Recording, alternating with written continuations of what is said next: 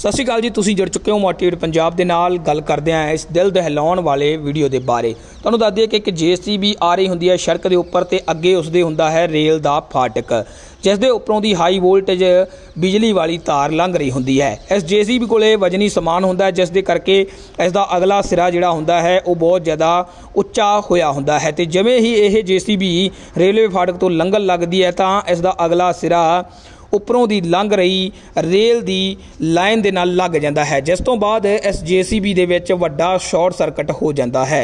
ਇਸ ਦੇ ਵਿੱਚ ਬੈਠਾ ਇਨਸਾਨ ਬਚਿਆ ਹੋਵੇਗਾ ਜਾਂ ਨਹੀਂ ਬਚਿਆ ਹੋਵੇਗਾ, ਇਸ ਦੇ ਬਾਰੇ ਕੁਝ ਵੀ ਨਹੀਂ ਕਿਹਾ ਜਾ ਸਕਦਾ। ਜਿਵੇਂ ਕਿ ਇਸ ਜੀਸੀਬੀ ਦੇ ਵਿੱਚ ਸ਼ਾਰਟ ਸਰਕਟ ਹੋਇਆ ਹੈ, ਤਾਂ ਬਹੁਤ ਵੱਡਾ ਹਾਦਸਾ ਇੱਥੇ ਵਾਪਰਿਆ ਹੈ। ਤਾਂ ਦੋਸਤੋ, ਇਸ ਵੀਡੀਓ ਨੂੰ ਜ਼ਿਆਦਾ ਤੋਂ ਜ਼ਿਆਦਾ ਸ਼ੇਅਰ ਕਰੋ ਡਰਾਈਵਰ ਵੀਰਾਂ ਤੱਕ, ਤਾਂ ਕਿ ਇਸ ਵੀਡੀਓ ਨੂੰ ਦੇਖ ਕੇ ਸਾਰੇ ਡਰਾਈਵਰ ਵੀਰ ਅਲਰਟ ਹੋ ਜਾਣ।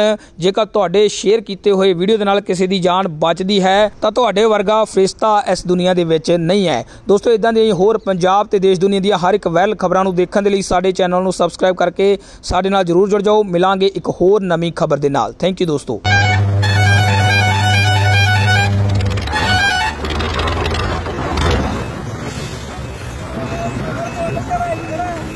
ਕੀ ਵੇਲੇ ਆ ਵੀ ਉਹ ਕਿਵੇਂ ਆ ਵਾਹੂ